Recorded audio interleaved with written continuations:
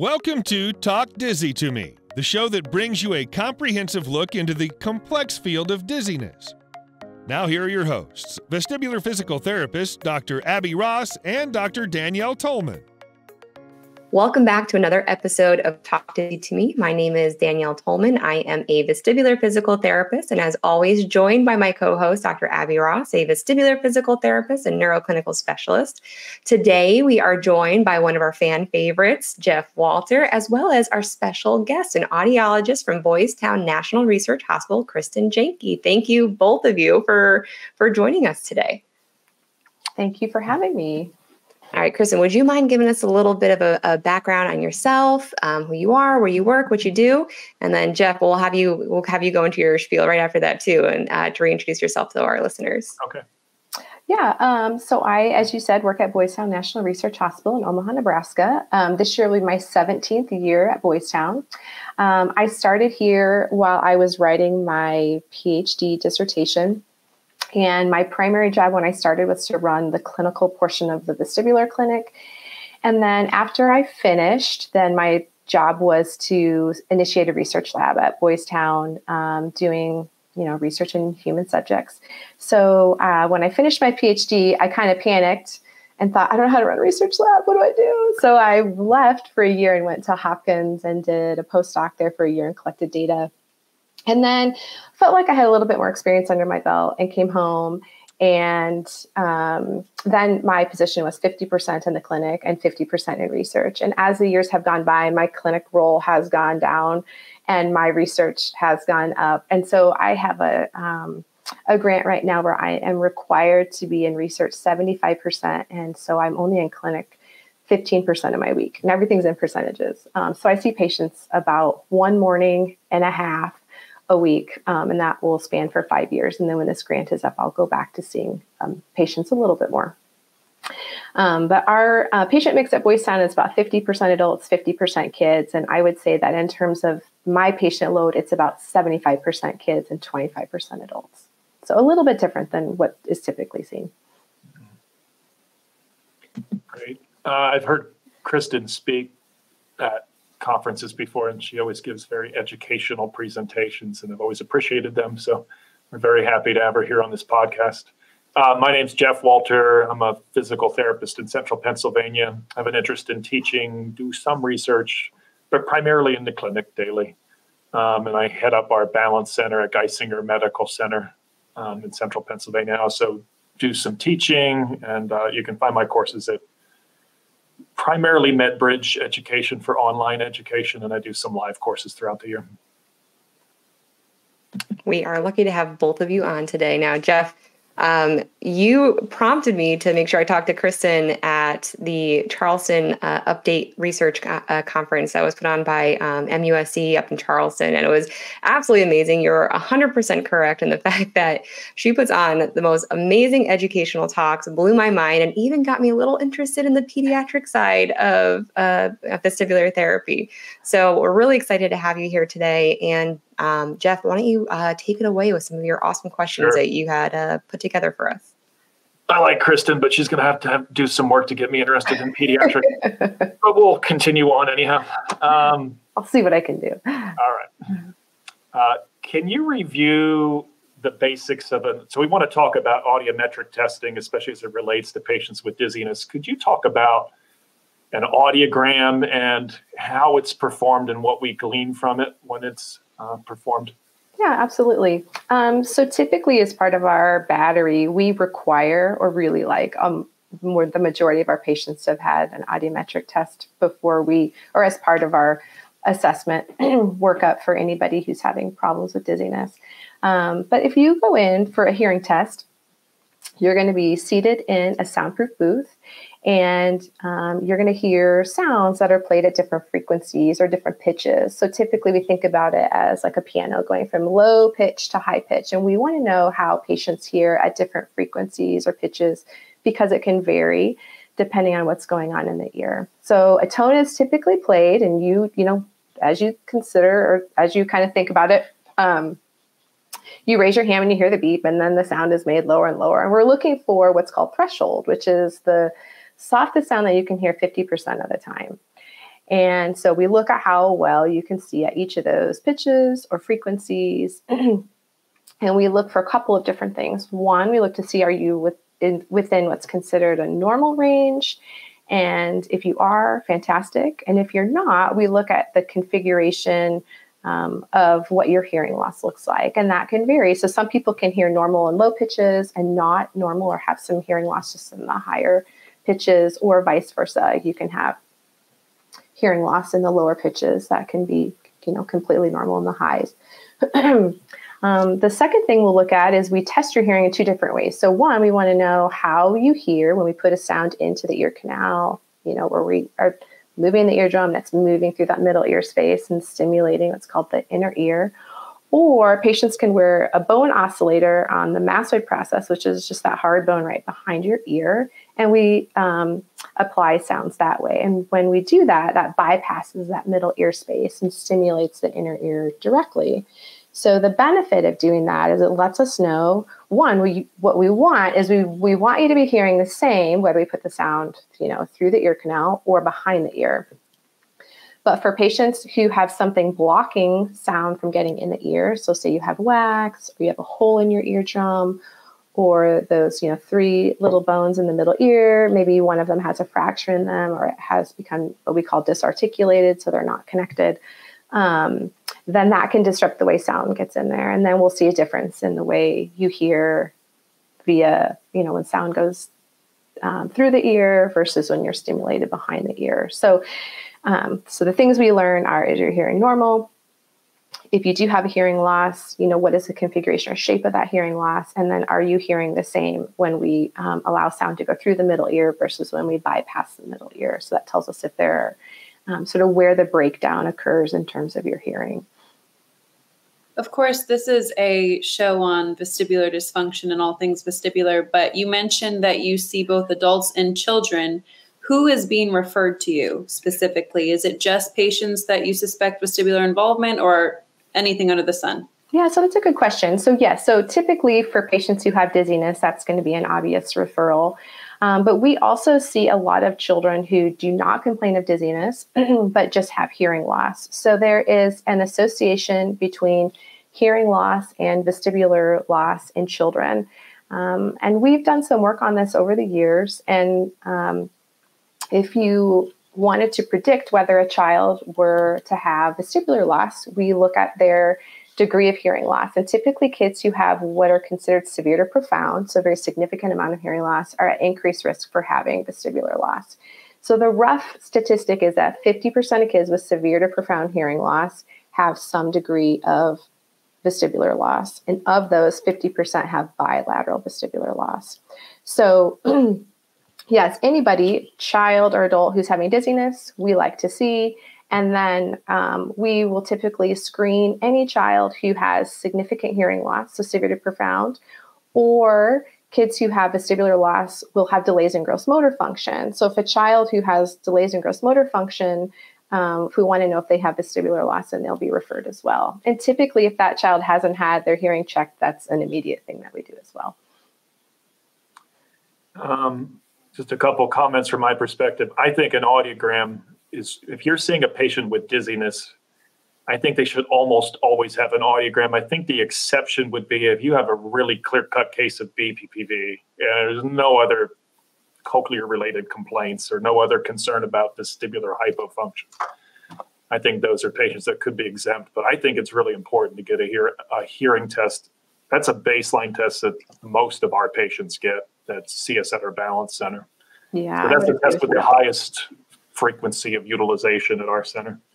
Um, can you, uh, you commented on this earlier, but I have patients that come in and they'll say, I was told I have a 42% hearing loss in my right ear. Is hearing loss quantified objectively in that manner, or how do you quantify hearing loss? Yeah, that's a, that's a good question. And I have patients who will come in and give me some percentage, and I'm like, I am an audiologist, and I have no idea what that means. so I believe there's some sort of calculator out there that some people use to quantify degree of hearing loss, but that's not something that we use and not something that I'm familiar with. Um, so typically, we will quantify the degree of we quantify hearing loss in terms of degree. So mild, moderate, moderately severe, severe, and profound. and again, that can vary based on the pitch or frequency. So some people might have a normal sloping to profound hearing loss, and that tells you that they're normal in the lower pitches and that their hearing falls off fairly dra- drastically in the high frequencies. I'm glad you brought that up because one thing that confused me in my novice stage is I would read a report from an audiologist and it would state that the patient's hearing was normal to profound hearing loss. And I'm like, hmm, that's pretty helpful. That kind of covers all spectrums. But yeah. for the therapist out there, that first term is relate and correct me if I'm wrong, Kristen. The first term that's used when hearing loss is described is where your hearing is at in your low frequencies. And then the second term you'll hear when it's just described how a patient did on an audiogram is where they're at in their high frequencies. Correct. So when someone has normal to moderate severe sensory neural hearing loss, you can picture in your mind that they're hearing is in the normal range in the low frequency, then just slopes down to the point where they have a moderate to severe loss in their high frequencies. Yep, that's exactly right. So it's kind of like reading. So it's just kind of describing. So going from left to right, kind of describing that overall pattern.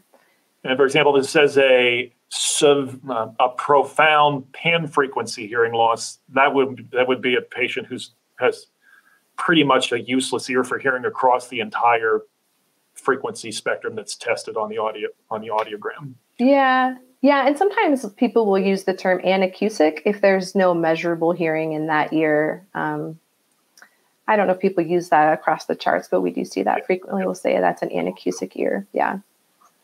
Um, one other thing with audiograms, can you mention so you're measuring a patient's awareness of sound? Do you measure how well a patient understands what they hear? Yes. So you can do what's called speech testing. And so there are a couple of different ways to do that. One is to look for their threshold.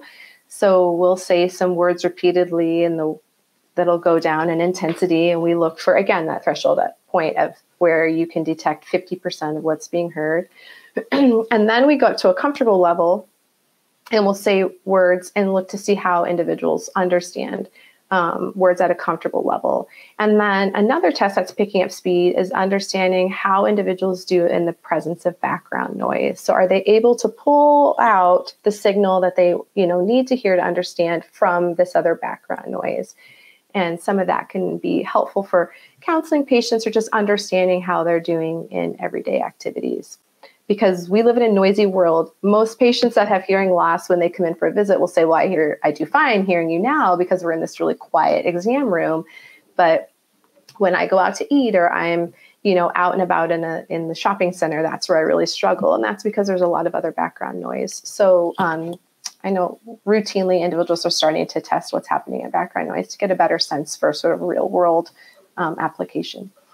I'll say from the clinic side of things, I'm not a, a, attached to um, a, a, hospital or a clinic that has audiological testing. However, I routinely and constantly remind my patients that one, you don't know what you can't hear because you can't hear it. And then two, having your hearing tested regularly, especially in just my, my aging patients, is really important. Um, and I, I do take the time to educate patients about the importance of using hearing aids sooner rather than later if they're recommended, why it's recommended, how it can help bolster spatial awareness, as well as um, a lot of the research coming out showing that you can slow down cognitive decline and possibly dementia later on in life. Not missing out on quality time with friends and family and enjoying time being out and about. So, on the clinician side of things, even if you don't have um, any sort of involvement with your local um, audiological testing, I still encourage patients, and I think that other clinicians too, should to get their hearing tested regularly and to touch base with those people in your community because there's a lot of overlap on what you do with a patient versus um, what they're being tested for, and it's a really meaningful relationship to work together with um, audiology in that sense. Yeah, I think that's great. Yeah, you may not have somebody in your house in house with you, but to find a local person to refer out would be highly recommended. And you're exactly right. All of the things. So, you know, having hearing loss can contribute to senses of isolation, increased depression, increased anxiety. And when we think about the things that we're targeting in PT, we can see similar things happen when patients become more sedentary and they're not moving and they can have you know more depression and anxiety and it can kind of spiral and so i think part of the um, habilitation or rehabilitation process can be looking at you know all different angles of things that are feeding into someone's overall general well-being. I just wanted to mention so the way you can think about it for the therapists that are tuning in is when you look at um, audiometric testing at the top of the you get a printout of the report at the top you're test they're testing your sound awareness and then at the bottom you'll see speech word recognition scores which is telling you how well the patient's actually understanding what they hear numerous times i've seen patients that have pretty equal sound awareness in each ear in other words when you look at their pure tones just their ability to recognize sound in each ear it's symmetric but you go down to their word recognition scores and it's very poor in one ear. That's actually concerning for retrocochlear pathology, and we can see that with vestibular schwannoma. So that's one thing we're always looking for. I remember just like a year ago, I saw a patient who didn't complain of hearing loss at all. And we got a hearing test done, and their pure tones were fine, but their ability to understand speech and their one ear was substantially diminished. And it was the same side they had findings of vestibular hypofunction and actually turned out to have a schwannoma. So don't just look at the pure tones at the, at the top and look for symmetry and be done. We always look at those word recognition scores because that's telling you how well the, the patient's un, able to use what they're hearing. And a, a um, indication again for retrocochlear pathology, vestibular schwannoma, is specifically a poor ability to make use of what you're hearing. Did I, does that sound reasonable to you, Kristen? Yes, that sounds reasonable to me. Yes, that was a good description. yeah. So, and typically in those, you know, there are a couple things we want to look for in those retrocochlear pathologies. You know, those are so slow growing that um, oftentimes those patients don't necessarily have a um, significant history of dizziness that um, coincides with you know some significant vestibular loss. And so yes those are all things that we look for. So what does our case history tell us? They have significant vestibular loss. And then looking at their audiogram for you know asymmetries in hearing. If there's a vestibular schwannoma we can see some asymmetric hearing where hearing is better in one ear and it would be poor in the ear with the vestibular schwannoma. And then yes looking at that word recognition ability. Um, can you speak to some normal changes you see in hearing with age and then contrast that to what you see with sound exposure? Because those are two really common reasons why patients have hearing loss is excessive maturity or exposure to sound. And what's what would be some differences you would see in their audiometric patterns? Yeah, so that's a good question. So one of the number one things we'll see um, is what's called presbycusis, and that is just age-related hearing loss. So, the typical configuration of hearing with age related hearing loss is going to be normal um, hearing sensitivity in the lower frequencies or pitches, and then hearing will roll off or decrease in the higher frequencies. Um, and the number one complaint typically for individuals who have presbycusis is difficulty hearing and background noise. So, background noise tends to be more low pitched noise where their hearing is good. And what gives speech its clarity is high frequency information. So if we think about, you know, certain sounds like S's and T's in our speech, and those can get lost in um, in background noise. So individuals will oftentimes say, "Gosh, I feel fine." Like I said, if you hear quiet, but the second there's any noise, I lose clarity of speech, and that's typically why. Um, now, for individuals who have noise induced hearing loss, the configuration looks roughly the same, where the hearing is typically normal in the lower frequencies, and then we start to see a decline in the high frequencies, except for there's what we call a noise notch. And so, typically between about three and 6,000 hertz, you'll see hearing be at its worst, and then it rises back up, not necessarily to normal, but we do see an increase or an improvement in hearing um, at 8,000 hertz. And that can vary. So that can be in one ear, both ears, depending on the patient's um, noise exposure. And then the degree of that loss can vary depending on the duration of that noise exposure, how loud that noise was. And then in some people, there's just an individual dis- predisposition to have noise induced hearing loss, um, where some people are just more sensitive to, um, to noise. So in those patients, when we see that configuration, we're asking about uh, about their history, but then you know probably more importantly is once you diagnose that is teaching people how to protect what hearing they do have so that that doesn't um, become worse. And so having conversations with individuals about using you know earplugs when they're doing you know recreational type things like you know going to shooting range, ranges or concerts and so on and so forth. Can you touch on that a little bit especially working in peds? You know you go to games or shows or sometimes even restaurants you see kids with their hearing protected what are your recommendations to parents um, you know, that's a good question. And um, that's not a conversation that I have a lot with parents about um, noise exposure. Um, but, you know, typically the recommendation is that if you're going to be around sound that is louder than a hair dryer for more than eight hours, you need to wear hearing protection.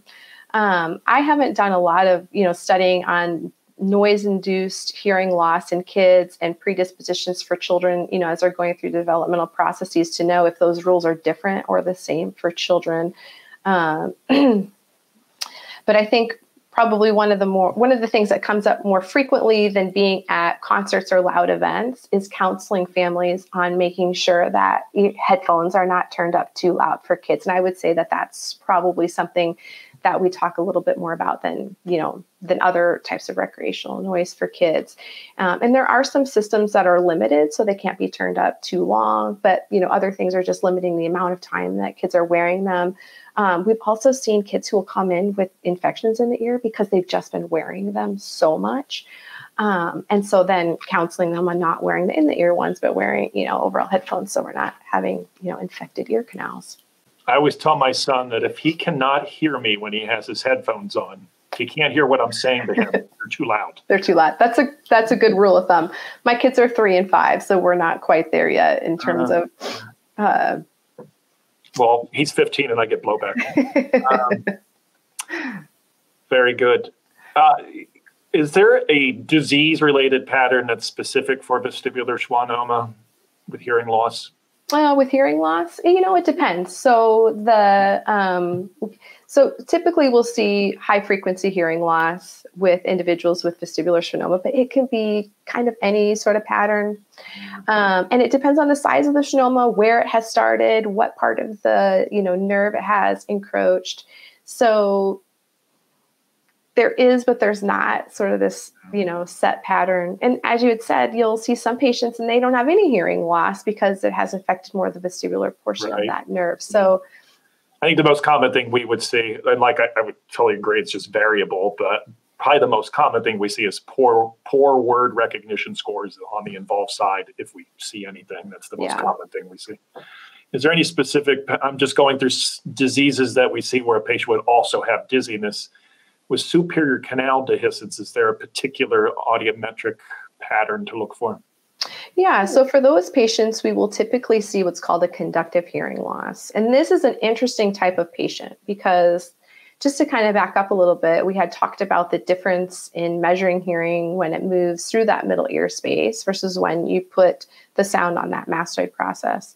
So when you see a difference in the way you're hearing versus when it goes through the ear and when you're measuring behind the ear, that's called a conductive hearing loss. Now, nine times out of 10, that conductive hearing loss means that something is keeping sound from getting into the inner ear. Wax in the ear, a hole in the eardrum, you know, someone who has an active middle ear um, infection. But for dehiscence syndrome, that's different. So we will see a conductive hearing loss in these patients, but the middle ear and the outer ear are completely healthy. The eardrum is intact. I mean, you know, in a hypothetical case. Um, but what happens with them is that they have this opening in the inner ear where, when we put sound into the ear canal and it moves through the system, it is being shunted away. And when we measure the hearing via the mastoid, it's getting enhanced to do that opening. So we call that a third window disorder um, or conductive hearing loss of inner ear origin. Um, and so the typical configuration of hearing is that when you measure hearing behind the ear, it's enhanced and looks really good. And when you, you know, measure hearing using our, you know, traditional headphones or earphones, um, that they do demonstrate a, um, a, what's considered a conductive hearing loss.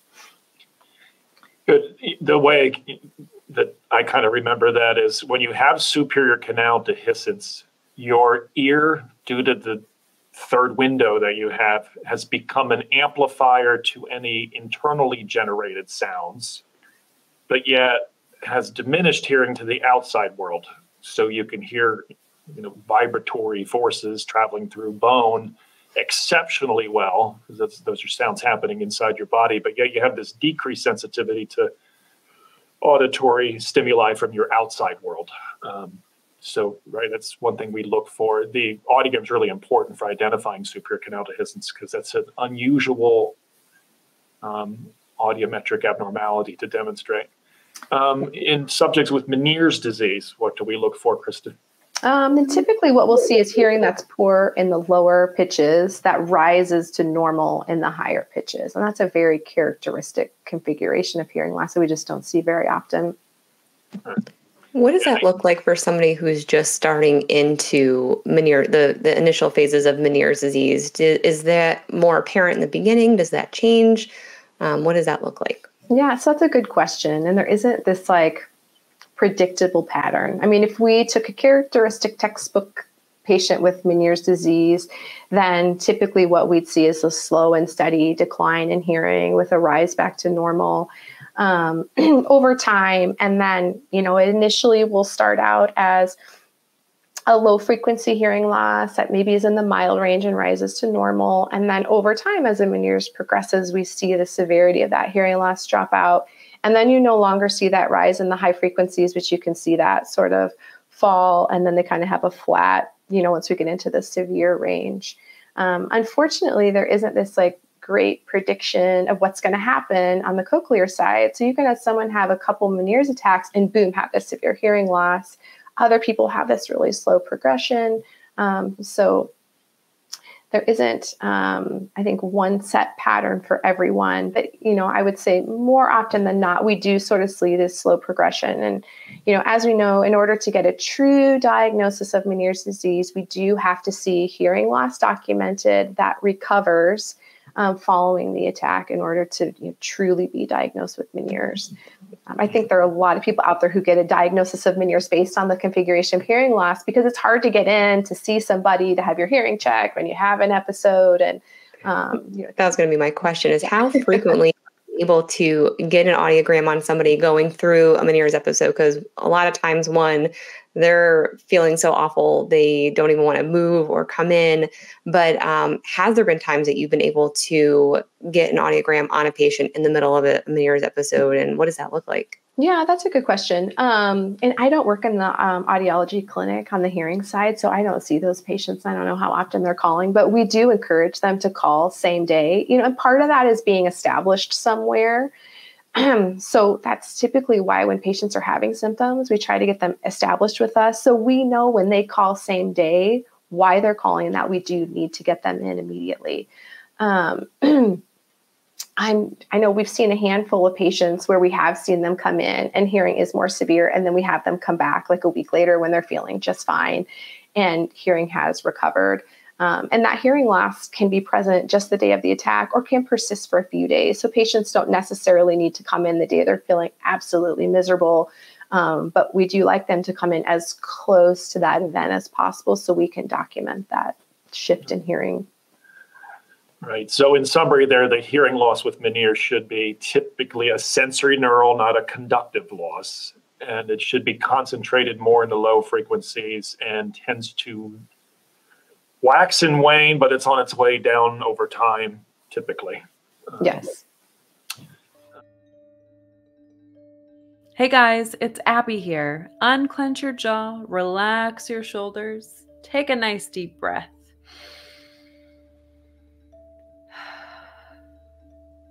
Doesn't that feel better? Thank you so much for listening to Talk Dizzy to me. One of our missions here at Balancing Act Rehab is to spread awareness about vestibular dysfunction, and the best way to do that is with your help. We'd be so grateful if you took a moment to subscribe, review, and share our show with someone you think would benefit from hearing our conversations. Let's get back to it. Do you have any bedside tests of auditory function that you would recommend for, say, physical therapists that they can perform at bedside to get a screen of a patient's hearing ability? Um, that's a good question. I so I tried to look to see if anybody has done. I didn't look very hard, so I apologize if there had been any like studies done on the effectiveness of any bedside tests, because um, there isn't anything that we do. Um, you know, you can do a finger rub test or you can do a tuning fork test, but I don't, to be honest, know how effective those are. I feel like what's probably more effective is to talk to patients about whether or not their hearing has been checked in a while and if they're having any other auditory associations with their dizziness. And if they are, if they're having any increased ringing, pressure, fullness, or just a notable change in hearing, then they automatically should just have their hearing checked. And I would say if they haven't had their hearing checked in several years, and even if they're having dizziness but don't report any audio um, auditory associations, it's still a good good idea. And Danielle, you had said this too, to just get a baseline assessment of where they are, because hearing loss can occur very gradually over time, where patients may not notice that they even have a change. or often married couples will say, Oh, I thought he just developed selective hearing and he's not listening to me anymore. You know, and really they've developed hearing loss over time. So I'm sorry I don't have a great answer to your question. Um, there isn't anything that we typically recommend. I think it's also hard because I work in an audiological setting where we're not using those types of screenings and we are just testing everyone. Right. Jeff, is there anything that you do? Because in your unique setup, you have um, your branch of things in the in the physical therapy bedside testing, but you also have an otolaryngologist right down the hall. You've got audiogram the um, audiology right across the the hall too. Is there anything that you do at bedside to kind of give you an inclination whether or not you should send them across the hall? Yeah, I have a lot to say. so one is I, a finger rub. Actually, it's been measured. It's usually the typical finger rub is a, about a fourth a fourth uh, kilohertz frequency stimuli, and it's about 30 decibels.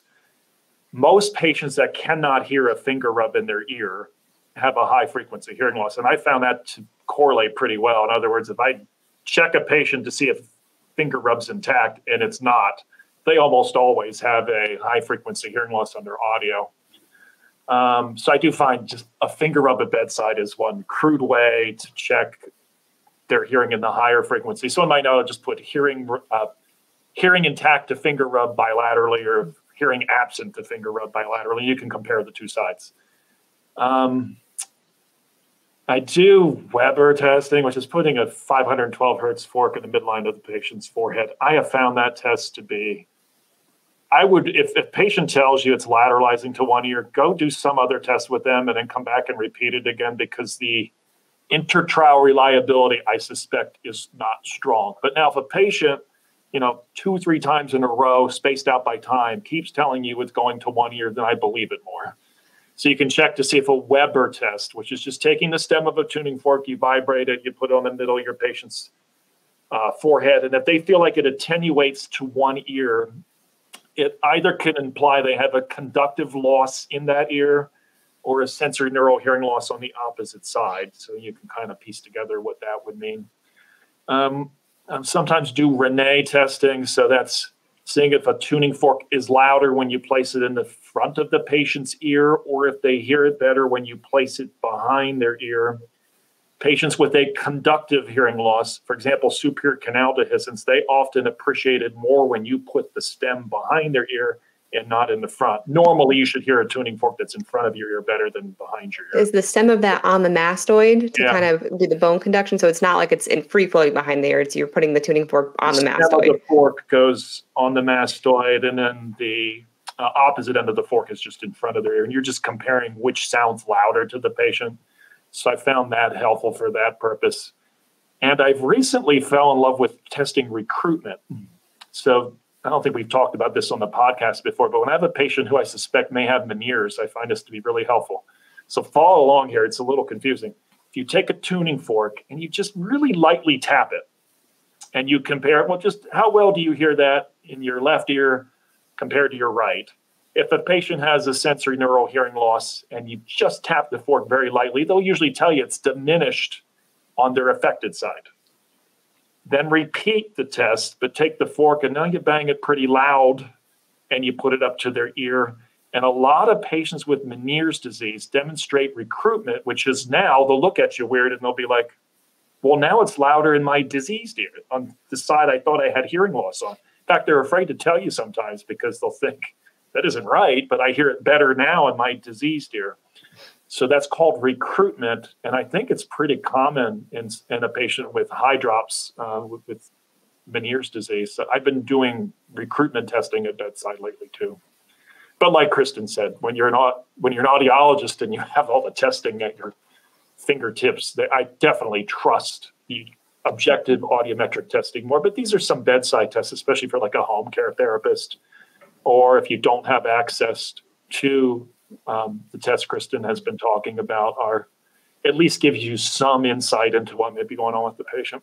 I think it's also good for patient buy-in, right? So here I am telling the patient, like, listen if you're having some of these issues and and you know i really think you should go get your hearing tested if you can give them a couple of tests where they can see that there's a difference or they can at least kind of understand where you're coming from you might get more buy-in from that patient. So like i have a whole spiel where i go into all of this and i try to demonstrate and i have a video of what it looks like with somebody balancing with hearing aids on and hearing aids off. And by the end of it i can convince them to to go talk to their doctor and get a, an audiogram. But I think that doing those bedside tests is just, again, having that patient realize what you're doing, why you're doing it, and buying into that.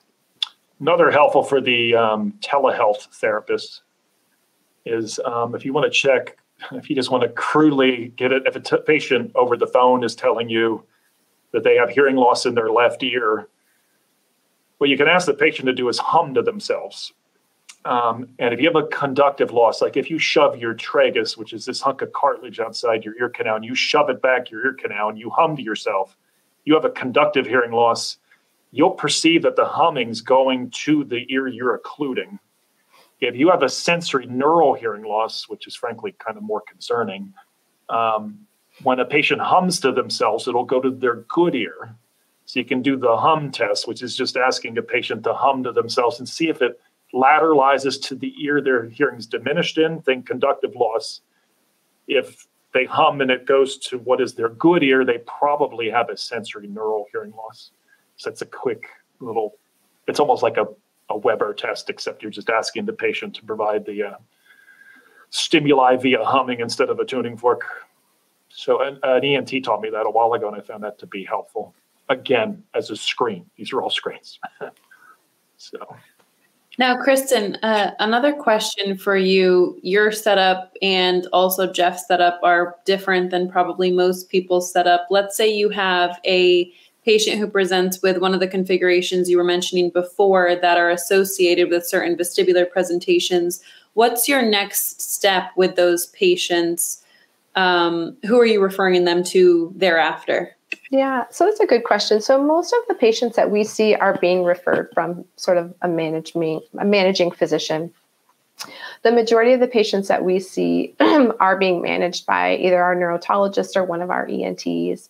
So if we see somebody who has, you know, a certain configuration of hearing loss, let's say, you know, if it's consistent with Dehiscence syndrome, I'm going to send them back to our neurotologist for consultation on, you know how severe their symptoms are. And if they are somebody who's a good you know um, candidate for canal plugging or canal resurfacing um, if it's a patient who unrelated to their vestibular disorder has some presbycusis that's significant and is impairing, impairing their everyday function i will send them back to one of our audiologists for a hearing aid consultation um, so it kind of depends on what the configuration of their hearing losses, what their primary complaints are, and then what the um, underlying etiology of their you know hearing losses. For Meniere's disease patients, they'll get um, referred back to their managing physician, potentially for medications to see if, um, like steroid use, can decrease some of that hearing loss.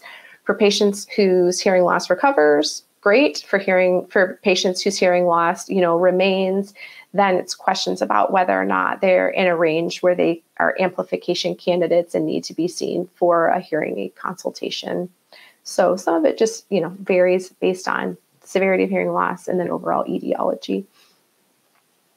If you suspect as a therapist that you have pretty good evidence at bedside that your patient's hearing loss has a high probability of being conductive and not sensory neural, really should send that patient to an ENT, preferably an otologist or neurotologist, to have that looked at. There, you don't want to get your patient's hopes up too high, but there are causes of conductive hearing loss that are surgically amenable, um, and they should be that should be ruled out. That there's nothing surgically that can be done versus just sending them to go get hearing aids.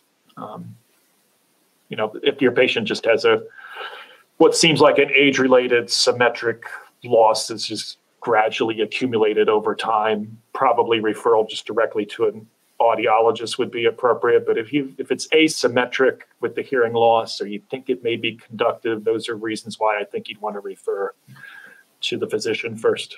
Yeah, and I would say like if patients are having dizziness and that's why you're seeing them, we always like them to see a physician um, prior to um, getting hearing aids, just to make sure everything checks out okay. And you know, and we're kind of lucky in that we're in this setting where our referrals are all coming from ENT, so we're not really worried about it. So, you know, kind of taking a step back and thinking about, okay, well, if I was a freestanding clinic, what would I want? And I always kind of tend to think like, if this was my dad or this was my mom or my sister, like, how would I want that handled? And typically we like them to see um, a physician to rule out, you know, anything that might need actual medical care prior to, you know, moving on to hearing aids to treat that hearing loss. I'll say that um, I've I've practiced in multiple settings now in multiple states because I keep seeing to seeming to move down the coast, the East Coast here. But um, you know, it it's challenging being a clinician that sometimes is the the first person that they're seeing because it's a refer referral from a primary care physician. They haven't seen a neurologist, they haven't seen an ENT because they're backed up. Um, but this is where, I mean, if you haven't gotten the gist of from our talk already, this is where you need to build up a team of a multidisciplinary approach. You should have some an idea of who somebody can go to because if you're making these recommendations to your patients, you're finding this at bedside, you need to offer them, hey, I know this person does work with dizzy patients. You should go talk to them. Or if they say, well, I've already talked to my doctor, and you you kind of have to tell them, well, if you in your gut feel like that that question that you have, you know, what's causing this isn't answered, you need to get a second opinion. You need to see a physician. And there are plenty of times where I've told the patient it's not appropriate for us to do physical therapy at this time, and that you need to get cleared for X, Y, and Z first before we can jump into this. And patients are usually very appreciative and amenable to that. But make sure um, you have a, a, network of people that you can refer to, or um, at least uh, discuss this with in your area to make sure you're doing right by your patient. Okay, we'll give you one more question, then we'll cut you free because we're already at about 45 minutes here. Um, but this is good. Um, do you think it's important to perform otoscopic examination on patients with dizziness? And if so, what are you looking for?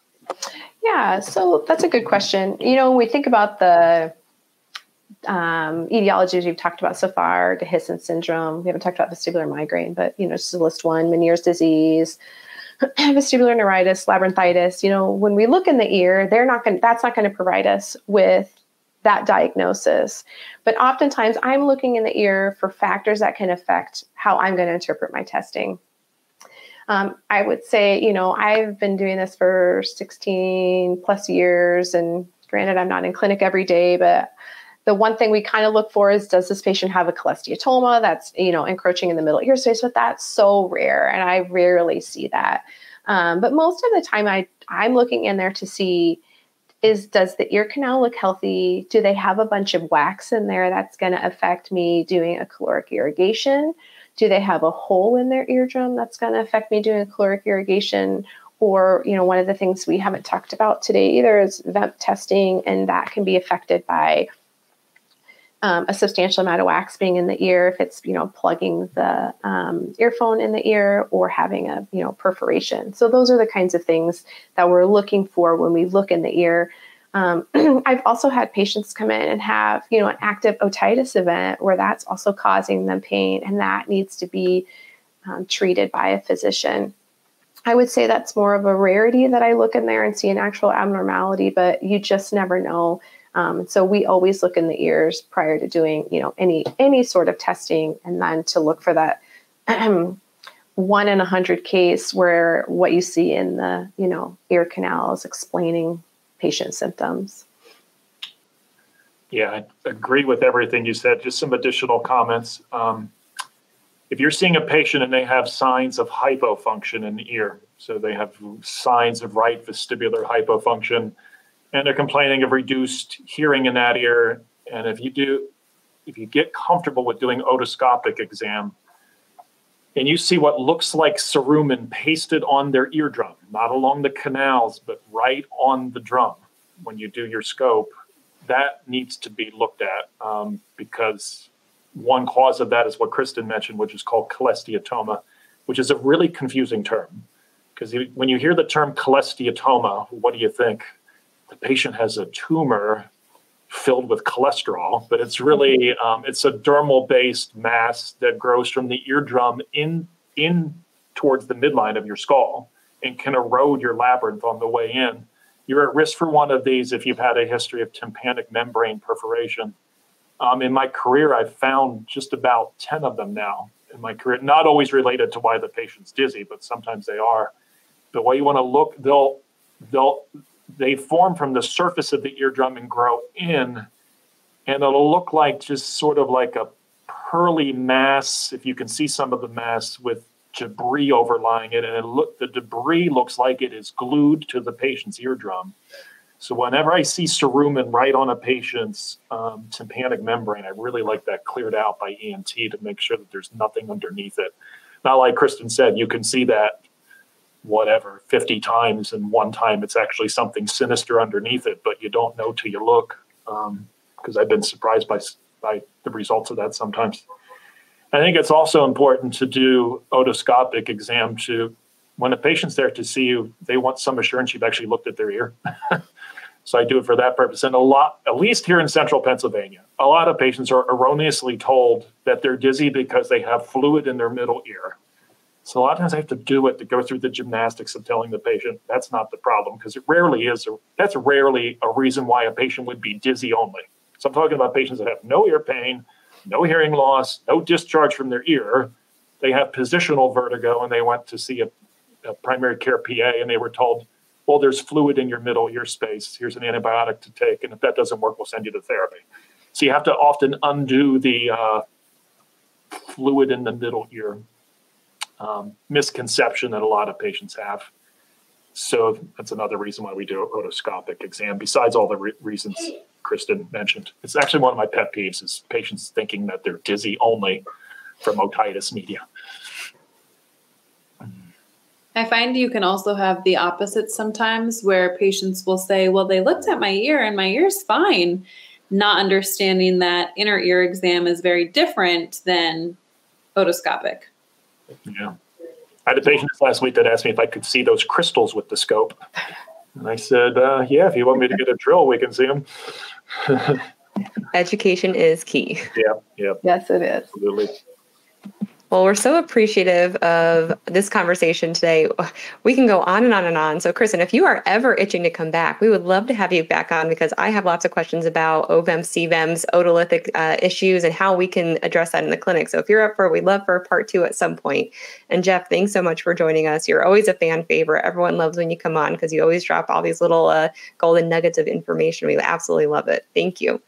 You're welcome. Thanks. I know. I learned a lot about bedside testing of audiometric function. So thank you, Jeff. Yeah, I'm the MacGyver of audiologic testing. That's right. well, I really have to know who MacGyver is, anyhow.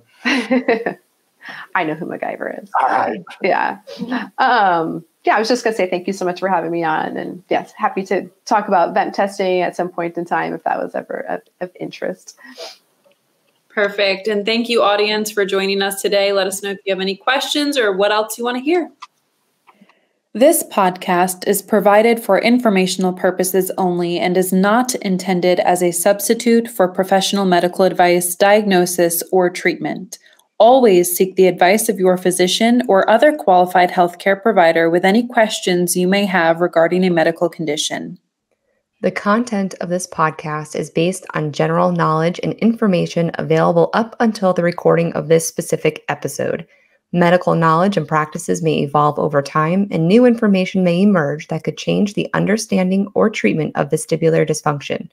It is important to consult a qualified healthcare professional for the most up to date and personalized advice. The information provided in this podcast is meant to complement, not replace, the relationship that exists between a patient and their healthcare provider.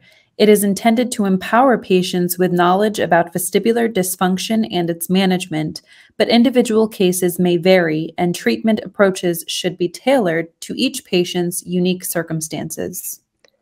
By listening to this podcast, you acknowledge and agree to the terms of this medical disclaimer. The organizers, presenters, and creators of this podcast are not liable for any actions or decisions taken by individuals based on the information presented herein.